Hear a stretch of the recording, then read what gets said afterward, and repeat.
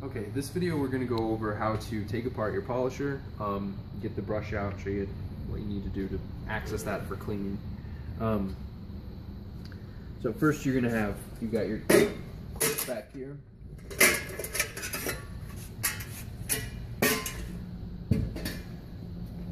And up here to take this off.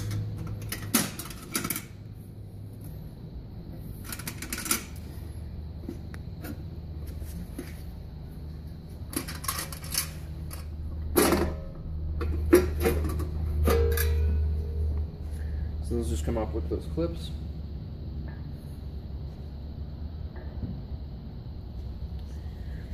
Um, here's the actual case that the polisher's in. You've got your upper bearing, the lower bearing, your belt here that's connected to it.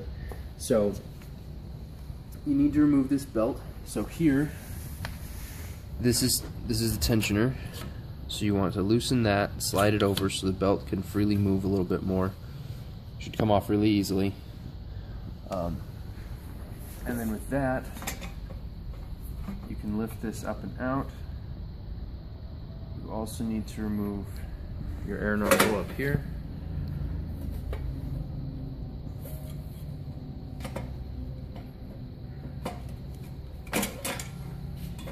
That should come out. This top bearing is free moving, so make sure you don't drop or lose it. You can just set it back in the machine here while you're pulling this apart. Then we come over here.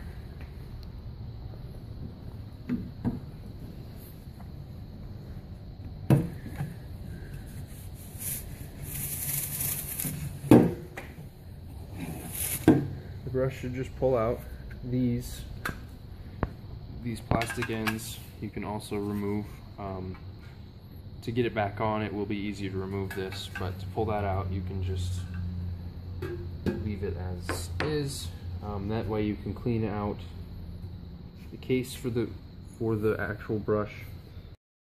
Once you get the brush and everything out of the machine um, you can take this plastic baffle off pull the brush out you can clean those up. Um, here's where the brush rests itself. This has a set screw that you can loosen and then take take the brush out of this slot so that you can then do it on the bottom as well. Pull the brush out entirely. You can clean that as you need. Um, then putting it back together. You put this back on and then you need to before you tighten it you need to give the brush some tension. About a quarter of a turn will do before you then tighten your set screw. If you don't the brush can drop back out of the slot and cause issues, ruin your brush, and not polish anything.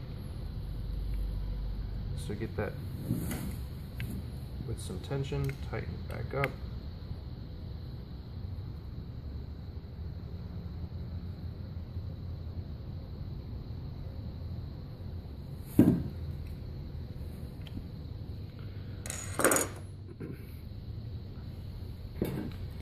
Then to put this back together, um, rather than putting the plastic baffle back on and then putting it back in there, sometimes your bristles will get caught and it will be hard to get them beyond that point. So it can help to put the baffle on the brush before reattaching it.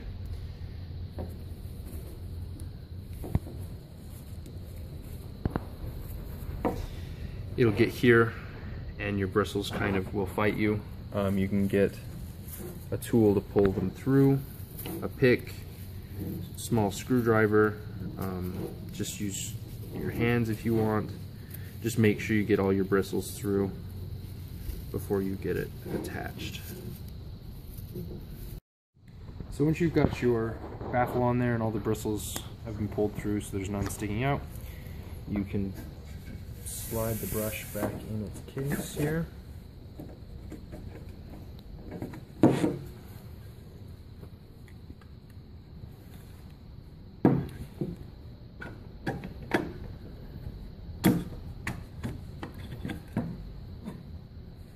Goes up in there like that. then you're going to want to take your bearing out here, put it back on.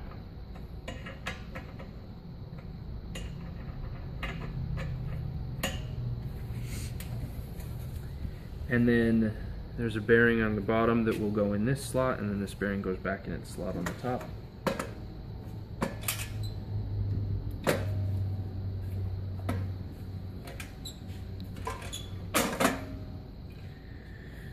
Just like that. Once you've got the brush and its case back in, you're gonna put your belt back on.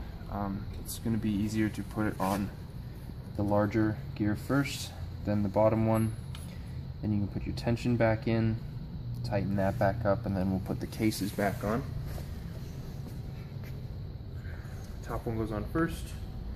Slots go over the bearings um, and the ejection.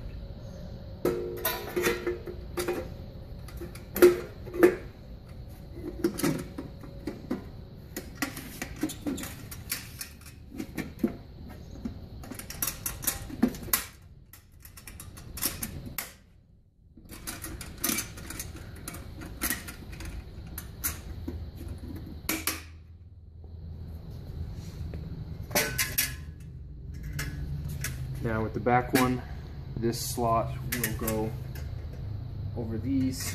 Um, you can put it on to where it slides over them, but then it would not necessarily line up with with the clamps. Um, just pay attention to that when you're putting it on.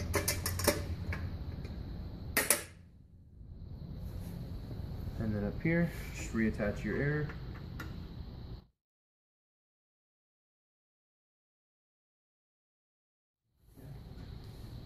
And then your polishers all put back together.